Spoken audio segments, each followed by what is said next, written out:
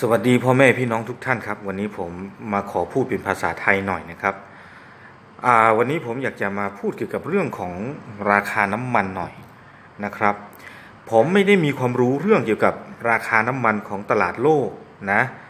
ผมไม่ใช่นักเศรษฐกิจ แล้วก็ผมก็ไม่ใช่นักลงทุนอะไรทั้งนั้นนะครับ แต่ว่าพักหลังๆเนี่ยผมสังเกตตามความรู้สึกของผมเองนะ อย่างเมื่อเดือน ปลายเดือนที่แล้วนะเดือนกรกฎาวันวันที่ 27 28 29 30 จะตรงกับวันหยุด 3 วันนะครับ แล้วก็ก่อนที่จะถึงวันหยุด 3 วัน 4 วันเนี่ยโทษทีก่อนที่จะถึงวันหยุด 4 วันเนี่ยน้ำมันมันจะประกาศขึ้นราคาตั้งแต่วันที่ 26 ตอนเย็นๆแล้วก็บอกว่าจะขึ้นราคาน้ำมันในวันที่ 27ตีห้า ผมก็มาสังเกตดูมามาดูมาดูนะ รู้สึกว่ามันจะขึ้นทุกช่วงวันหยุดนะ ไม่รู้ว่าพี่น้องจะไม่รู้พี่น้องจะจะคิดแบบผมหรือเปล่าก็ไม่รู้นะ แต่ว่าส่วนตัวของผมเนี่ยผมคิดคิดแบบนั้นจริง ๆนะ ก็จะขึ้นรอไว้ละ ประมาณว่าวันหยุดเนี่ยโกยแน่นอนนะครับสี่วันเนี่ยเพราะว่าชาวบ้านชาวช่องเขาก็จะออกจากบ้าน การไปเที่ยวเนื่องจากว่าเป็นวันหยุดนะครับ อันนี้ผมสังเกตครั้งแรกนะขึ้นราคาน้ำมันก่อน พอหลังจากนั้นเนี่ย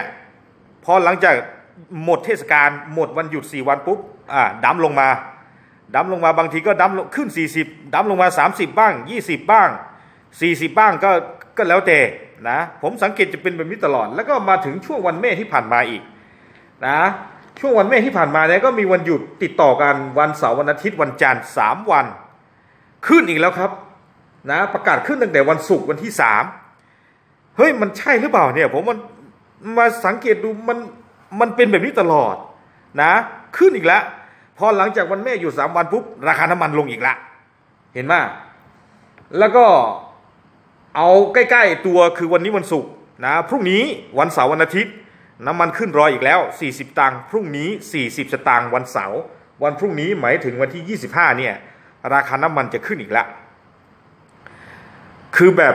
ผมก็ไม่รู้นะว่า ราคาน้ำมันเนี่ยน้ำมันโลกนี่ทำไมมันต้องขึ้นลงช่วงเวลาประจวบเหมาะกับวันหยุดของไทยเลยหรือเปล่า หรือว่ายังไงนะ คือมันสังเกตแล้วมันจะเป็นแบบนี้ประจำเลย โอเค ผมเป็นผู้ใช้รถคนหนึ่ง แต่ว่าผมไม่ได้ใช้น้ำมันอะไรมากมายหรอกเนื่องจากว่ารถของผมคันมันเล็ก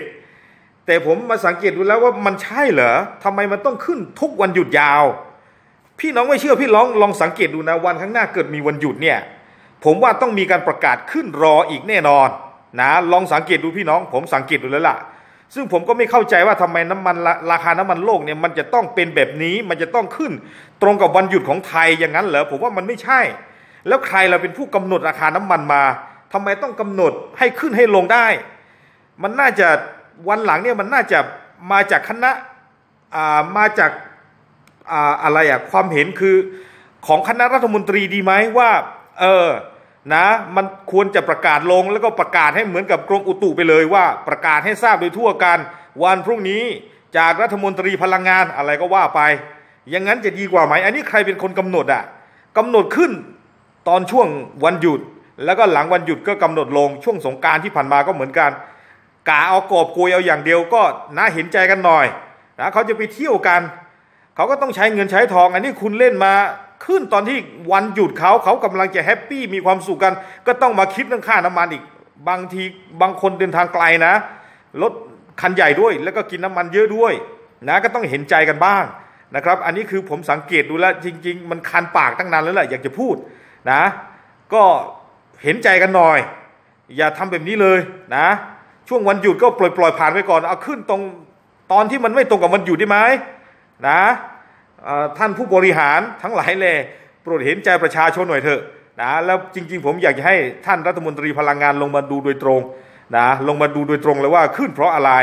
ทำไมต้องขึ้นตรงกับวันหยุดด้วย นี่แหละคือคำตอบที่ผมอยากจะได้จริง ๆ วันนี้ขอพูดแค่นี้ก่อนนะครับ ขอบคุณมากครับ